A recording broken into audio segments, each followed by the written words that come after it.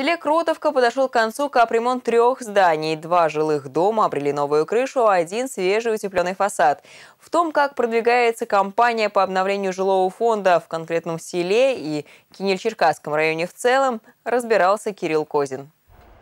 Дом 5 по улице Коммунальный, а новые крыши его жители мечтали многие годы. Возраст здания более 50 лет. Старый шифер протекал и покрылся мхом, и больше был похож на кровлю соседних сараев. Теперь о коммунальном ужасе остались только воспоминания. Делали очень аккуратно, очень быстро.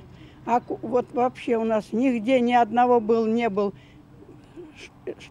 дерева, ну, в общем, доски, ни обрубка, ничего все делали там на крыше, а потом спускали, все очень и быстро. За две недели они нам сделали все крышу.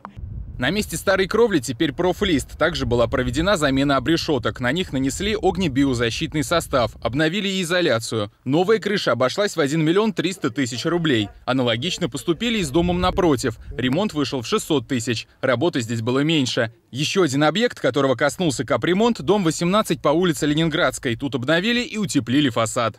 Никакого нареканий, жалоб не было. Крыши простые, маленькие, быстро сделали в короткие сроки. Никаких проблем не было. Срок годности у нас 5 лет гарантия минимальная, которую несет подрядная организация за выполненные работы. В течение 5 лет они выезжают и устраняют любые замечания по качеству. С успехом в районе не только проводят капремонт, но и собирают на него деньги. Этот показатель за последние годы 60% вырос до 95%. Уговаривать жителей особо не приходится. Помогает правильный подход и пример соседей, чьи дома прошли через программу. Мы стали рассматривать и обсуждать с ними в открытом формате, предоставляя полную раскладку и по срокам, и по стоимости работ.